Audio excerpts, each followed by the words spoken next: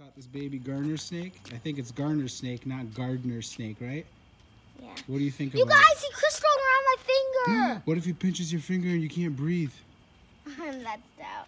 That's what a boa constrictor would do. He would go around your hand and you, or around your body, and that's how they kill the you constrictors. go, baby? You gonna put him in the grass? No.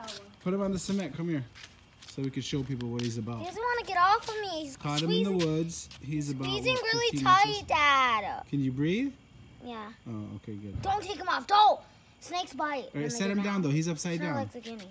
Let's see what he does when you put him down. Go. No! Whoa, he's Bad! fast. Bad! Bad snake. Bad. Don't grab him by his tail, you'll cut it. You have to grab him by the middle, you guys.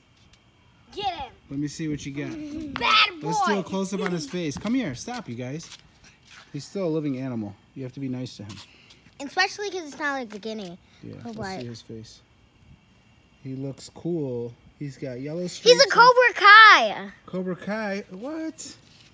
Here. Yeah, his name I is can't now show his Cobra face. Kai. Hold him. Hold him. His name is now Cobra Kai. Let me get his Kai. face. I want to show people his mouth. He bit me actually when we first caught him.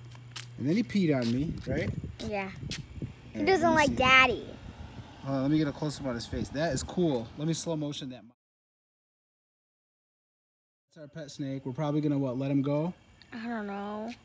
at least Don't- in a day. Mm. That is a cool tongue. Holy cow. Yo, put He's him down. No, he's not comfortable. He's upside down. Set him down, boo boo. Or lift him up by his head better. I'm scared if he bites me. He's not gonna bite you. Oh my god, he's biting me. He's doing the tongue kick.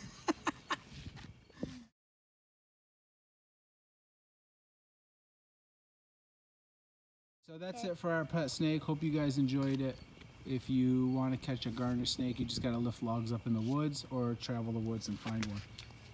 Right? We weren't expecting one actually. No, we just walked across the trail and saw him laying there. And then he tried to run, right?